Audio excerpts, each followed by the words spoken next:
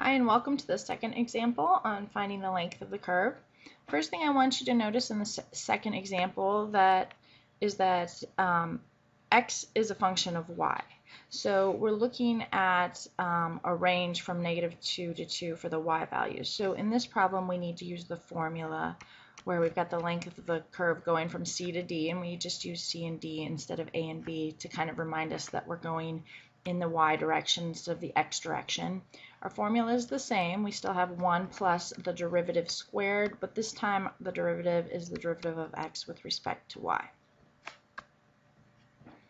Alright, so this is the formula we need to use. Again, the first thing we do is we take the derivative. So the derivative of x with respect to y is going to be 3y squared.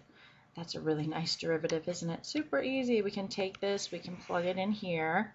We can rewrite our formula. So the length of our curve is going to go from C and D are our y values from negative 2 to 2. And we want to make sure that our derivative is defined on that interval. So if we look at here, we have no domain or in this case range restrictions, so we're in the clear. So our length is going to be defined by the integral that I've written right here. And again, you can use your calculator to evaluate this. Um, that's what I'm going to do for this particular example. If you want to work this out by hand, it's a little bit more complicated because you get a 9y to the fourth. So it's not just a simple substitution problem. And when you do this one in your calculator, you end up with a length of 17.2607.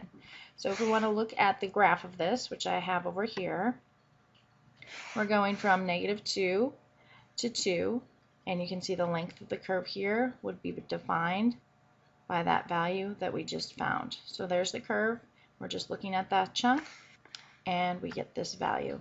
Again, remember if you're taking the AB, or BC test, you can truncate around to three decimal places. So this could be 17.260. You do need the zero to indicate you've found the third decimal place, or 17.261. Either one of these would be fine for the AB, or BC test. All right, there's another example. Please continue watching.